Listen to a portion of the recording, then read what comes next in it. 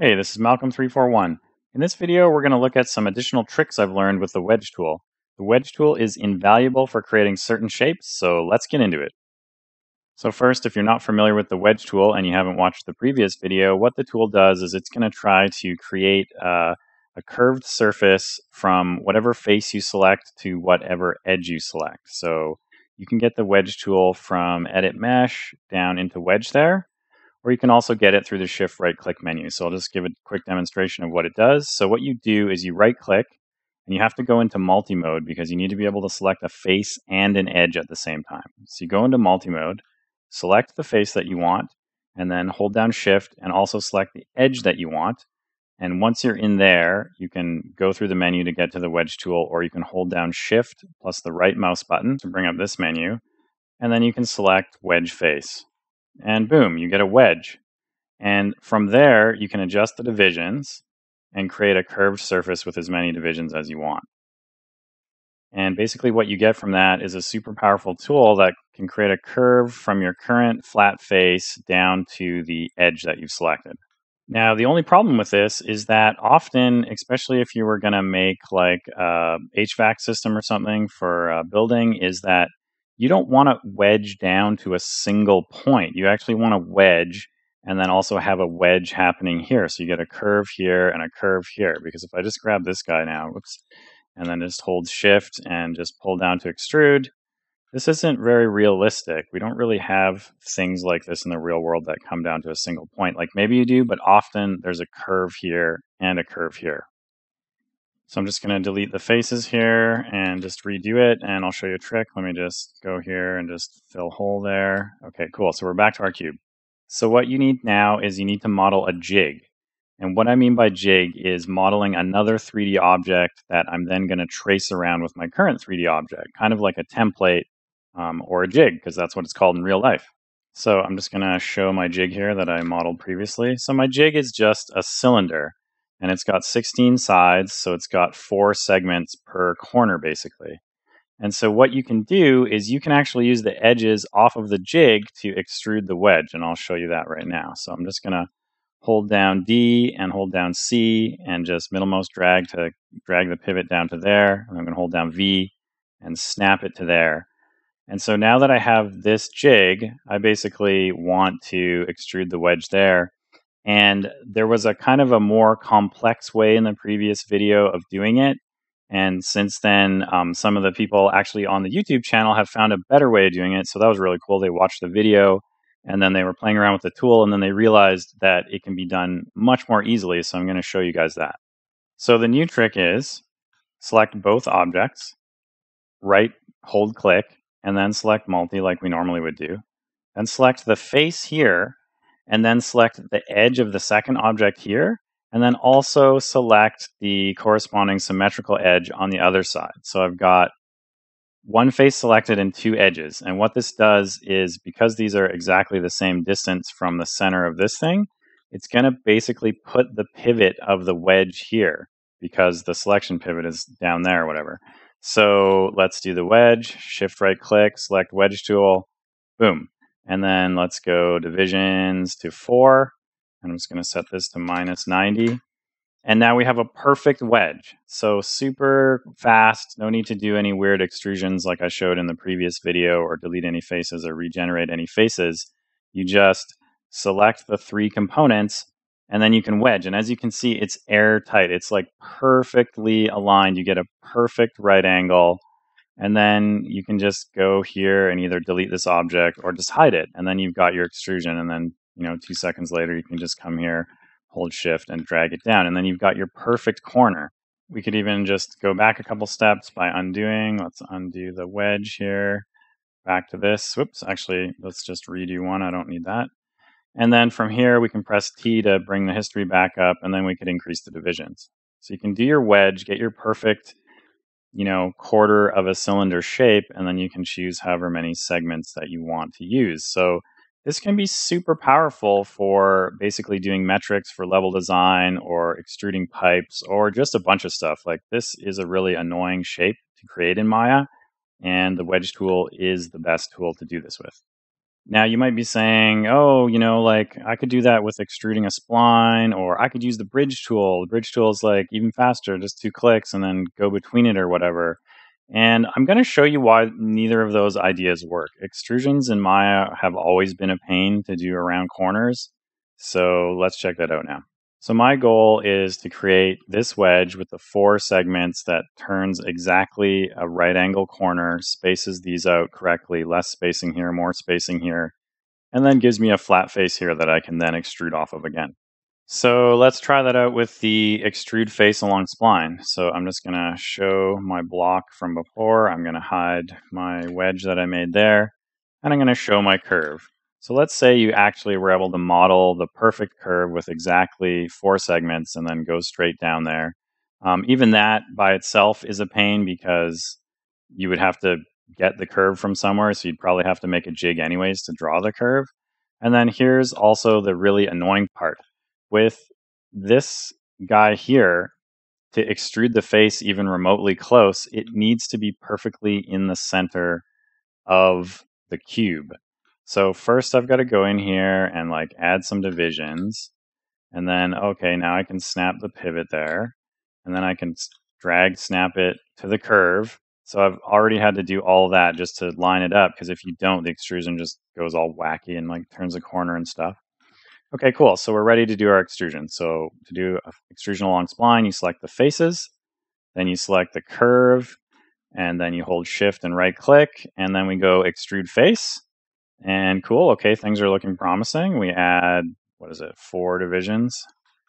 Four divisions, and you can already see the problem. Is it five divisions for this guy? Because it's got the other thing at the bottom. Sure, it's five divisions.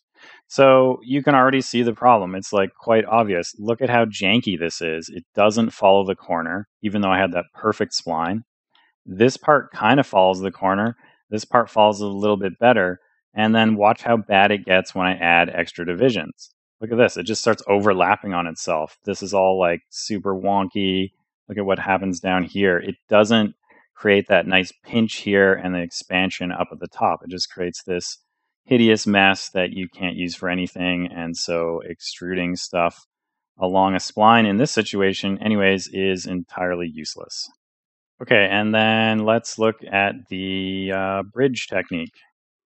Also, one of my other favorite tools, actually. Bridging is awesome, but you will see it also has annoying problems. So here's the exact shape that I want to extrude from, traced it off of my other original shape that worked with the wedge. So go into edge mode, select the edges you want to wedge, sorry, uh, the edges that you want to uh, bridge, and then go down to bridge I'm going to go into the options box here, and I'm going to turn on smooth plus path plus curve, and whatever everything else is default, I put four segments in there. Okay, and bridge it. And a different problem. This is better than the extrusion, but now it also pinches back onto itself and is also totally useless. And then that just gets worse as you add the segments. You get this wonky pinch there as well. So that also doesn't work. It might be fast to get into the bridge tool, but it's totally useless because you can't get a clean mesh out the other end. And what is cool about the bridge tool, because I use the curved surface, if you look inside the mesh, you'll see there's actually like a curve inside of it. And if you select that curve, you can grab those control points and you can actually tweak the uh, shape of the um, bridge in real time. But again, that doesn't help us. Like, why would you want to come in here and fiddle with this every time you just want to extrude a corner? And I don't even think you can't get it perfect, anyways. Even if you fiddle with it, you can get it kind of close, but it's still not going to be parametric and it's not going to be clean and it's going to be totally useless. The other super cool thing about the wedge tool is the surfaces don't even need to be lined up. They just have to be lined up along like the plane from the side view but they don't even have to be the same shape or even the same distance apart. So that can also be super handy. You would only need to snap it up in the side view to get it to go to the right spot. So select those guys again, right click, go into multi, select the face, select the edges, and then shift right click and wedge. And then I don't know why I need to do minus 90, but you can see that's already working and we put in four segments and then it's perfect. Like it doesn't even need to be on the same plane or anything. But if you look in the side view, it's like perfectly lined up. And again, crank the divisions to as many as you want and it's never going to do some weird crap down here and pinch out and go all wonky. All right, so now that we've checked out why the wedge tool rules, we will also look into the new trick that I learned that was kind of like an aha moment where I was like, oh man, I can't believe I was modeling that stuff by hand every time when there was a tool to do it. So when I'm modeling, a lot of the time, I need to be making like a planter or something or a curb or whatever. I worked on a lot of city games and uh, you're, you're always modeling like flower boxes and whatever, skate ledges and stuff like that. And so you want to be able to, you know, extrude a box. But if you're just kind of to eyeball it or whatever, like this, you're going to get like different widths, right? Like, oh, that one's skinnier than that one. Oh, there's, is there a way like I can just get like a nice 45 degree extrusion?